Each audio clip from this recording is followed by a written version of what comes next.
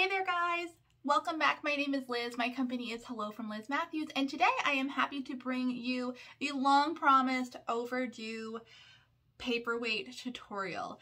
Um, you are in my studio today. This is going to be a very different video than my traditional floss tube video.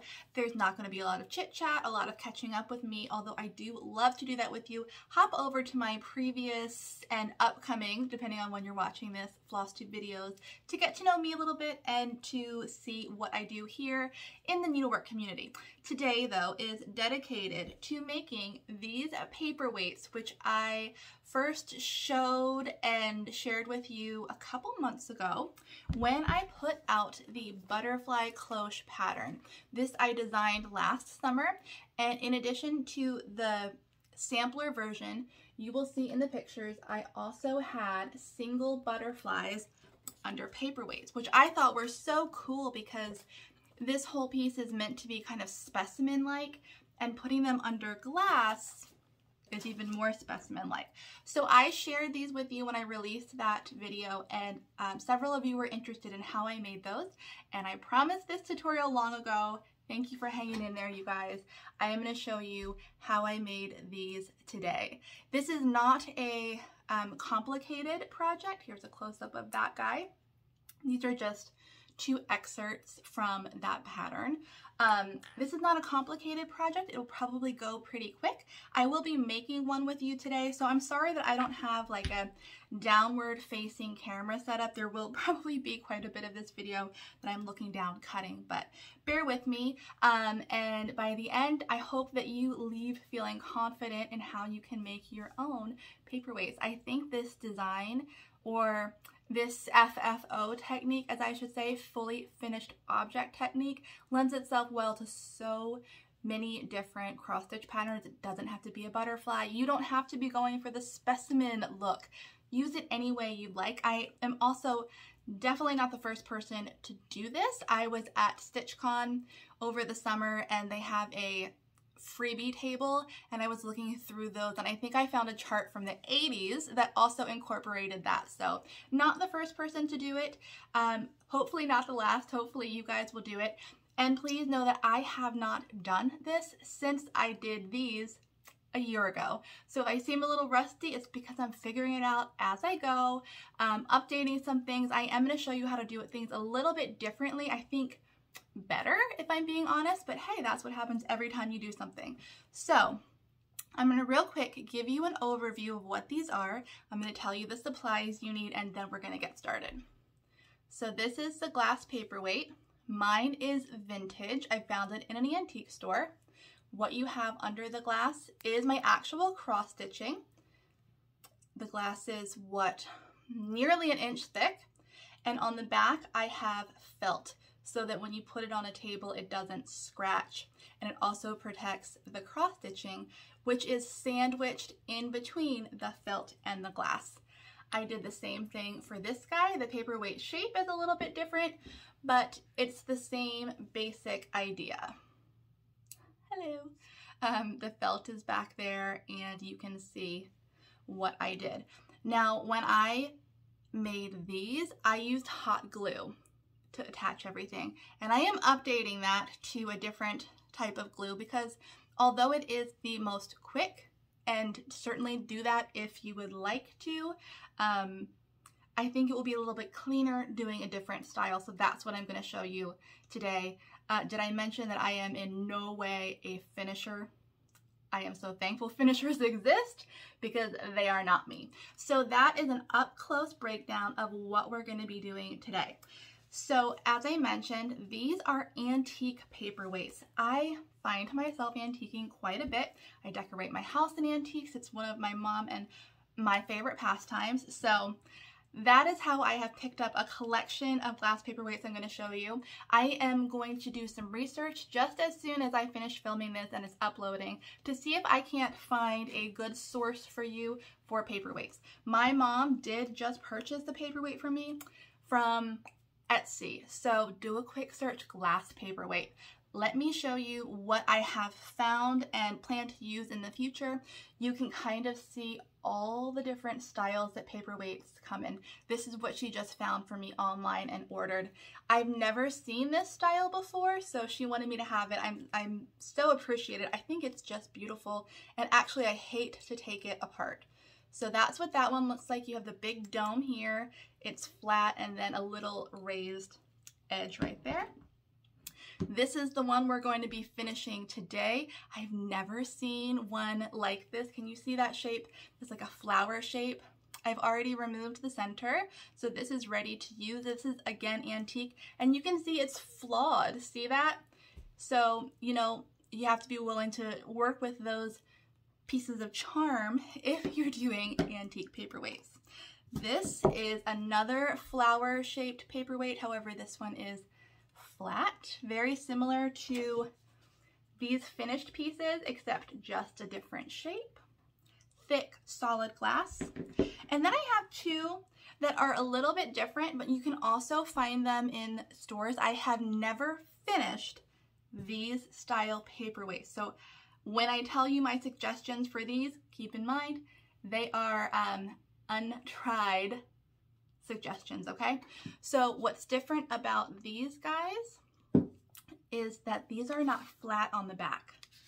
They are impressed. Can you see that?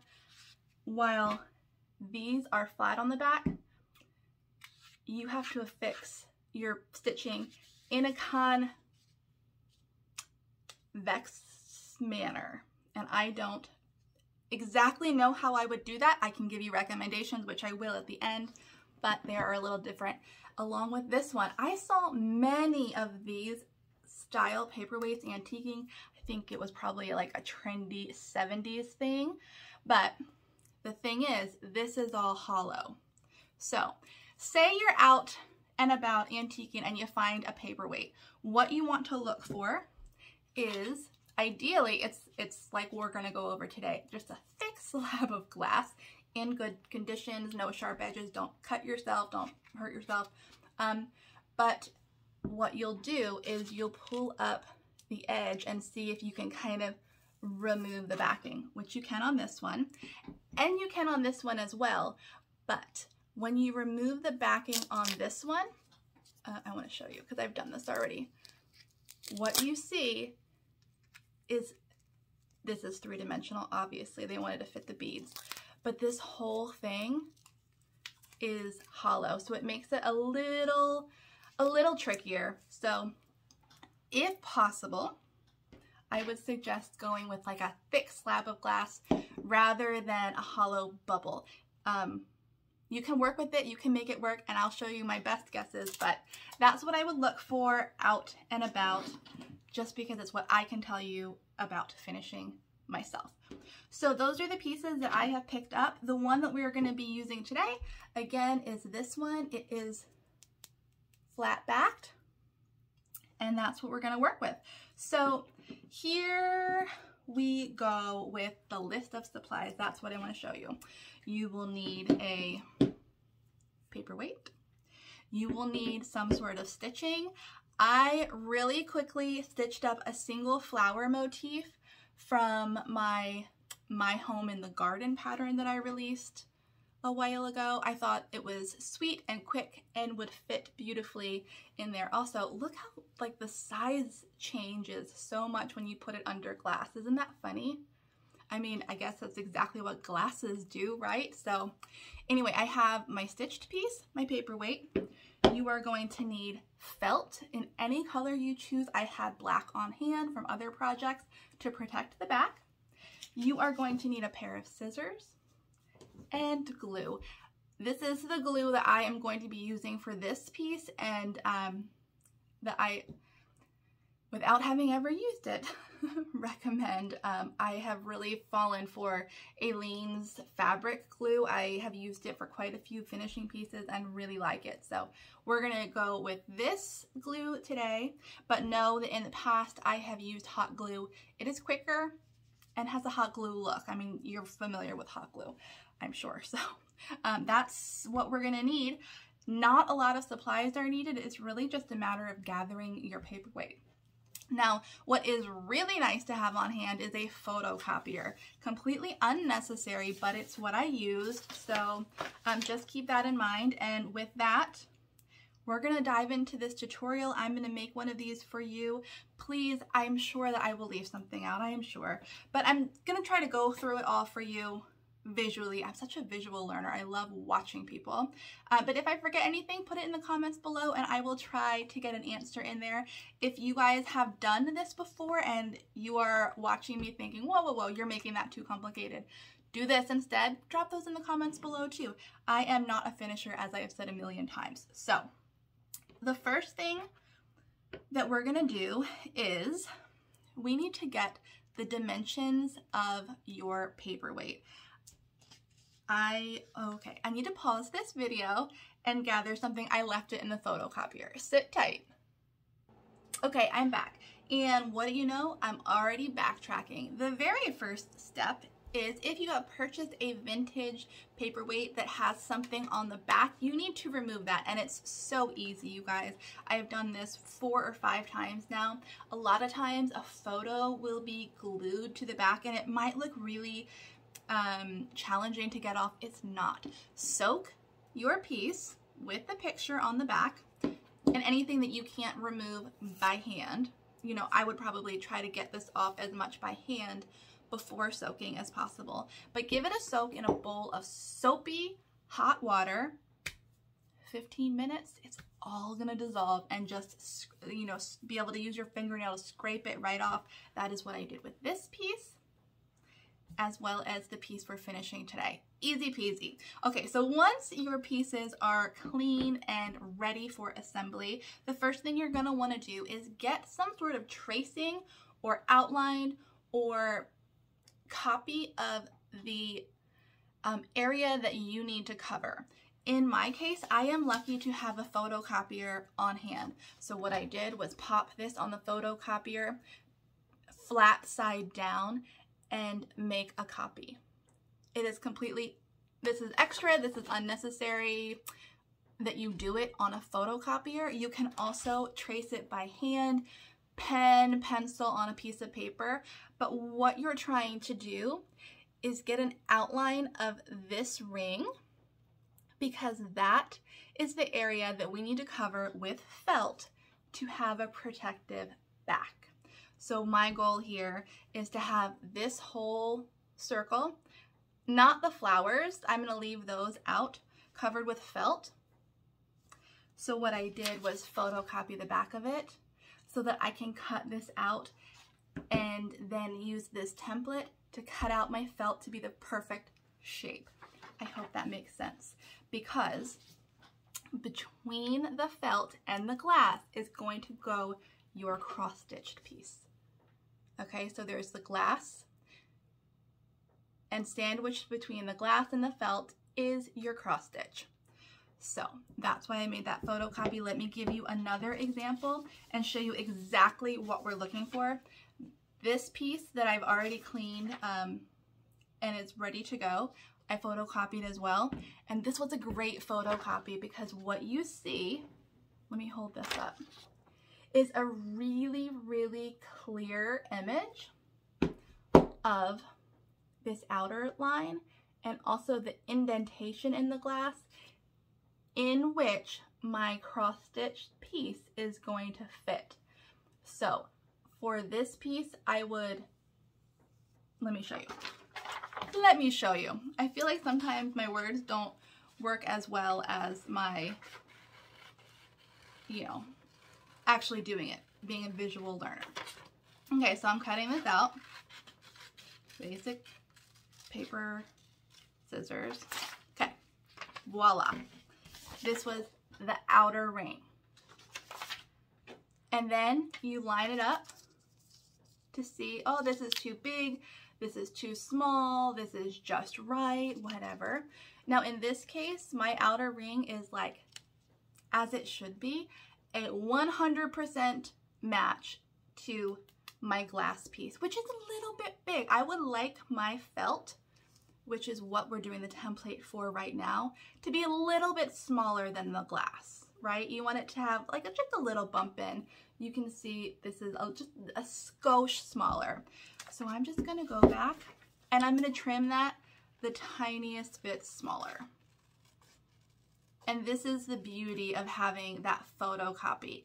It's not a, it does not have to be a high quality photocopy, but if you decide that you do want to maybe take your paperweight to like Staples or, you know, wherever you can make photocopies, make a couple.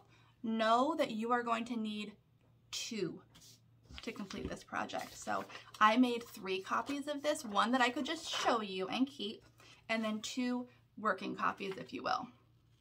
Okay, so I just trimmed that down by, you know, that much. And now I'm gonna realign it. And I really, really like that fit. And that will now be the template that I use for my felt. Okay, I'm gonna put that aside. And I'm gonna grab my second working copy because while I'm cutting out templates, I'm also going to cut the inner ring, which shows where the depression, can you see that, in the glasses and where I would insert, inset, sandwich my cross stitch piece. So this inner ring right here. Let me cut that out real quick. You guys can watch. And this is why you make two working copies. My goal for my cross stitch piece, anytime I'm working with it, any finish I'm doing, is to have to cut it the least amount possible because that's scary, right? That's scary. So this making a template and testing a template out first works really well. So this is supposed to be my inset piece of paper and I'm gonna line it up here and see how it worked, which is actually really well too. Oh, technology. So you can see um, this fits pretty well in that depression. I'm gonna trim it a little bit here. You can see it's kind of a little large there. So just go back, trim a little more off until you have the perfect fit. Also, I know that I said we were doing that flower piece, and we will, but it's easier to show what I mean on this larger piece. I'm sorry about that. You can watch me finish both. Um, okay, just want to make sure you could see. Okay, so I'm just trimming to perfection my template for my cross stitch piece and making sure it fits. Okay, that's, okay, I need to trim this side a little more. My goal when I'm doing this is to have that piece of paper template fit perfectly flatly in that depression and not be puffy or wavy at all. And you know, it's better to keep trimming and adjusting your template than your cross stitch piece, am I right? Okay, so that's pretty good. You can see that's in there. So imagine that's my cross stitch piece. This is my felt piece. We're gonna cut those out and assemble them and be done. So I'm gonna set these aside. We'll come back to this. And let me really quickly do my um, star piece, the piece that we are actually finishing. So this one was a little bit different. Um, there's not a double line. There's really just that open negative space in there. So this is a case that having the paper to cut first is gonna be really good. Did I make three? Nope, I made one. What is the saying? Like, do as I say, not as I do. It's all right.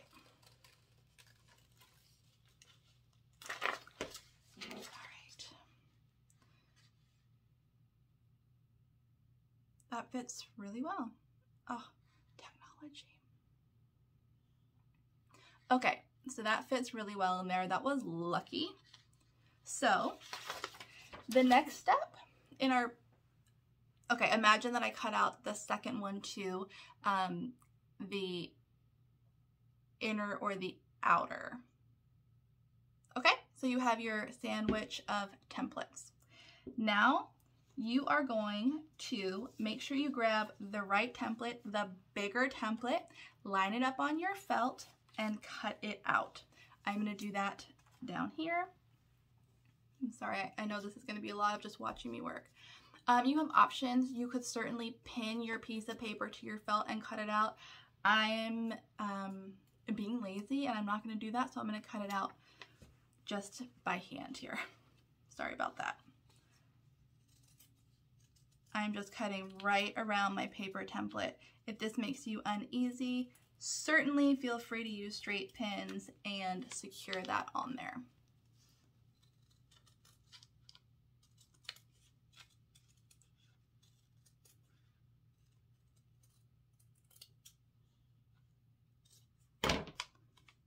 Okay, pretty good. Let me trim this top. Okay. I'm not after perfection. It can be adjusted, but that will be the back piece for my paperweight. All right, let me real quick do my circle. I don't know why I ended up doing two, whole finishes here. Whatever.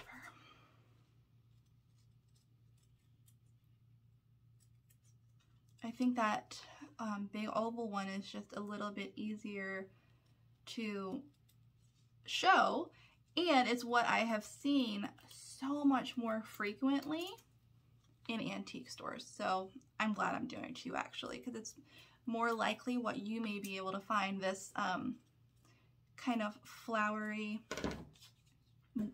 this one is far more rare and I've actually never seen another one. So, all right, so there you go, your felt template. All right, set your felt templates and your paperweights aside, grabbing the paper template for the inside. Okay, this is this is the more nerve-wracking part, I will admit, because this is when you cut your stitching. Um, you have a couple options for this. I didn't I didn't pull this out and I didn't think about it before I should have. Um, you could certainly put some interfacing on the back of your stitching to make it more solid and paper-like. You could also grab a water-soluble pen and trace your template around your stitching to make sure it is um, nice and centered and exactly where you want it. And that is definitely what I should have done. Um, or, yeah, I don't even want to say, you can wing it, you can freehand it. Um, perhaps your stitching has a nice border around it and it's easy to get things lined up. Um, I think I am going to go ahead and give you a pause on this video so I can grab a water soluble pen or a um, dis um, disappearing ink. That's what I try to think of. Disappearing ink. Um, because it's, uh, like I said, it's scary to cut your stitching apart. So I'm going to give you a pause, grab a disappearing ink pen, and be right back with you. Okie doke. I apologize that that was not in your supply list earlier. Uh, I think this will really be handy. And I probably used it originally, but it's been almost a year maybe more of them. So I apologize. Okay, so I am basically going to line my template up as I would like to around my stitching. Uh, this is a great opportunity to kind of use a light source to see where you like it lined up so it's nice and centered. That is certainly what I am doing right now. I have a light shining behind me. Okay.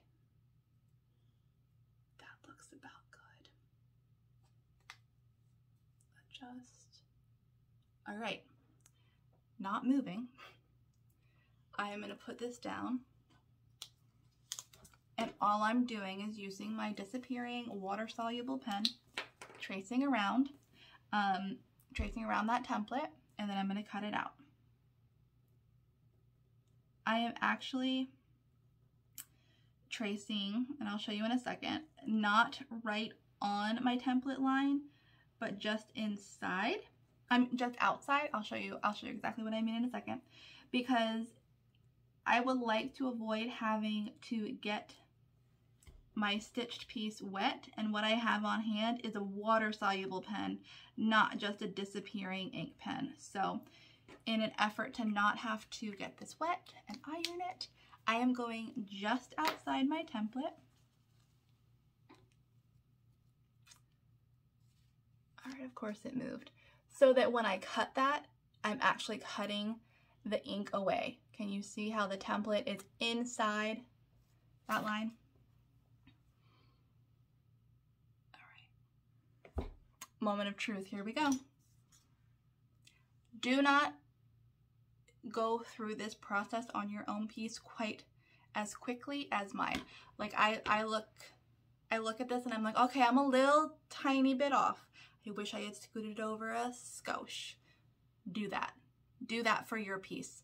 For this, I am just, I'm wanting to share the process with you and I'm not being as perfect as I should be. All right, so I'm going just inside the line. And the reason I'm doing that, we already went over, is because I'm cutting away that ink. And ideally, when I'm done cutting this piece, it will be smaller than my felt and able to sandwich in between the glass and the felt of my paperweight. Okay, moment of truth.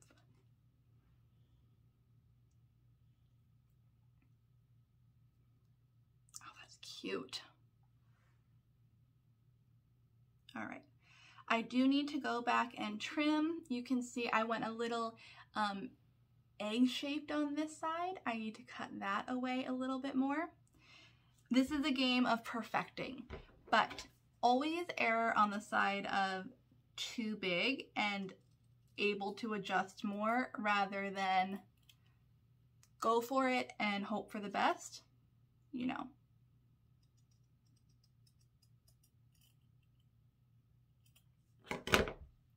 All right. Better, better, better. Okay, so that is fitting nicely in there. And let's go ahead and see what this looks like. I'm gonna grab my felt and sandwich that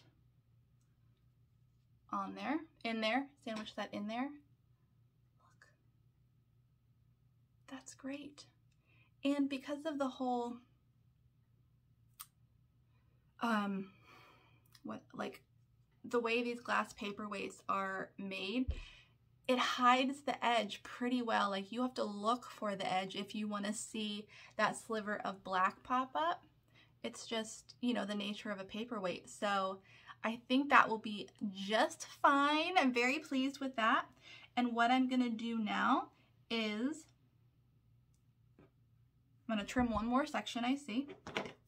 Again, Take your time. Do this as many times as you need. Do this more perfectly than I'm doing. Okay, so it's now time to affix your felt cross stitch paperweight sandwich. The whole idea with this and with the other two paperweights I made previously is that glue never touched my cross stitch. I just, I didn't want to do that. So all of the gluing happens between the felt and the glass paperweight, sandwiching your cross stitch in there glue free. So what I did when I did my butterflies was line everything up. I'm putting my felt on here. Get it just perfect. And then I went back and hot glued, you can see it, around the edges. You can see it like sandwiching out right there.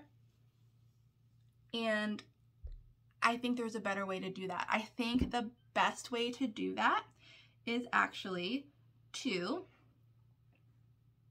use Aleene's. It's a quick drying fabric glue. It means that once we have it sandwiched and glued, you have to let it sit for a little bit to dry, but I think the trade-off is worth it. So it might take a little more time, but you can adjust if you need to within that first little bit of time. And also you're not gonna have hot glue strings and those marks that I showed you on the back of this guy, right? So how am I gonna do this? Let me think. Let's think through this together. Okay, I am going to actually, I am gonna run a little bit of Aleene's all around the edge of my paperweight where I am gluing the felt. And then I'm gonna set this down on the table so you're not gonna be able to see it again. And I'm gonna lay my stitched piece in there. And then I am going to lay my felt piece on top, gluing it. That is when the gluing is actually gonna happen. And then I am, I'll probably try to show you, raise it up and try to show you, but then I'm gonna turn it over and set it on a table with the paperweight pressure, um, like pushing down on the glue to affix it and just let it set. Set until the glue dries. How does that sound? Okay, let me, um, I'm gonna do it. We're gonna do it. Okay, this is gonna be a lot of looking at my head, looking down. I apologize. Um, feel free to bump forward a little bit, but I wanna show you how I'm gonna glue it. So this is my Aleene's tacky glue, fabric glue, whatever. And, okay, I'm going, okay, you can see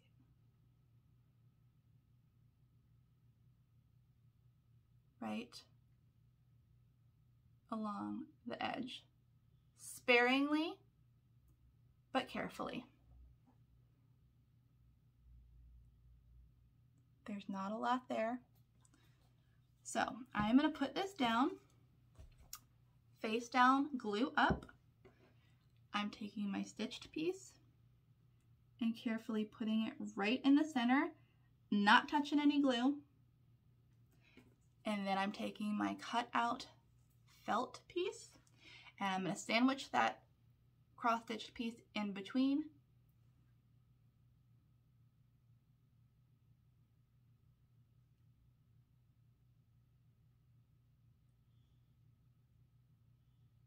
Like so. There's a little glue seeping out the sides. That's okay. Aleene's dries clear. And we can always take it off with a razor blade.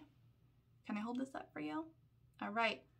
That's what it looks like. You can see there is a little extra glue. No biggie. We can take care of that. But it is nice and sandwiched. My piece is in there. Yay!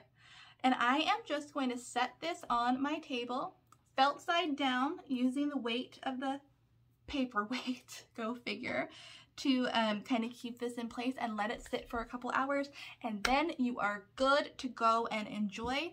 One thing you might find when you pick it up is if you have a little excess felt like I don't know, say it was a little extra on this corner, just, you know, take some scissors and trim it. Not about perfection. It's not about perfection at all. So I am very excited about this sweet little piece. The Aleene's works really, really quickly, if I'm being honest. Um, it probably won't take long to dry at all. So I'm just to leave this sitting here. I will share it in my next floss tube video. Of course, I want to tell everybody that this tutorial is up. I am, again, I'm sorry, I am not a tutorialist. And in the future, I might look into getting some sort of top-down camera situation. Um, I apologize. Oh, this is so darn cute.